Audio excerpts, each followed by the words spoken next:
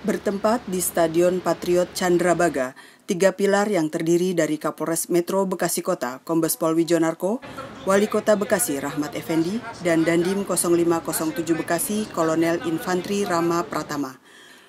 Melaksanakan konferensi pers terkait sosialisasi dan penanganan virus corona.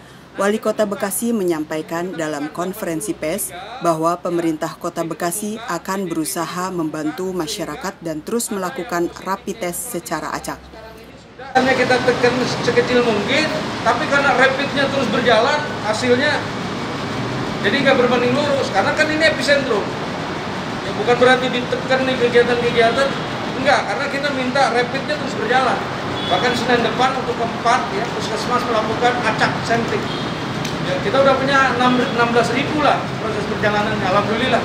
Daerah lain kan juga berat. Kita usaha ke sana ke sini hanya kalau sekarang ternyata perkembangannya tinggi, memang kita di pusat karena dekat dengan Jakarta. Lebih baik kita ketahui ketimbang kita nah, tiba-tiba orang meninggal, tiba-tiba orang meninggal. Karena dari situ kita bisa melacak. Kegiatan dilanjutkan dengan pembagian sembako dalam rangka PSBB. Bantuan yang diberikan oleh Kementerian Sosial untuk disalurkan melalui kelurahan. Untuk penerimaan tahap pertama di Kelurahan Pekayon Jaya, baru menerima 357 paket dan akan dibagikan ke warganya. Dengan syarat, warga mengisi data dan menyerahkan KK dan KTP. Pendataan dilakukan dengan cara memberikan kartu keluarga dan kartu tanda penduduk dari penerima sembako kemudian akan didata pihak kelurahan.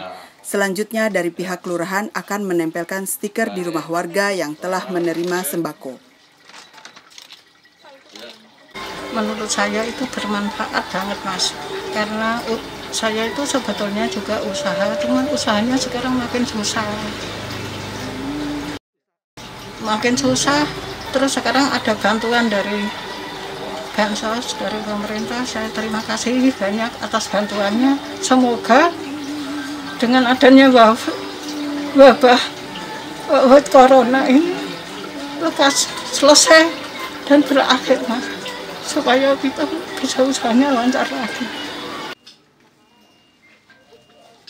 Dari Bekasi Jawa Barat Muhammad Iqbal Tribrata TV Salam Tribrata